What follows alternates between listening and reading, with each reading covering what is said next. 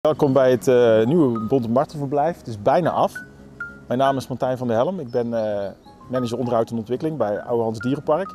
Het uh, project is helemaal in eigen beheer uitgevoerd. Natuurlijk is er eerst een ontwerpje gemaakt en is er alles uitgedokterd. De hele staalconstructie is uitgedokterd. Dat hebben we laten produceren. En het komt dan allemaal hier aan met een vrachtauto in balken en kolommen. Dat is een hele puzzel, moet helemaal in elkaar gezet worden, helemaal in elkaar geschroefd.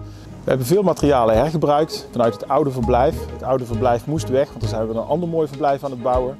En alle uh, rasterwerken zijn hergebruikt. We hebben de ramen hergebruikt. En uh, we hebben nou ja, zoveel mogelijk uh, weer hier naartoe verhuisd, zodat we zo min mogelijk hebben weg hoeven gooien. De bonte martels zitten nu nog in hun binnenverblijf, maar binnenkort zijn ze ook buiten te bewonderen.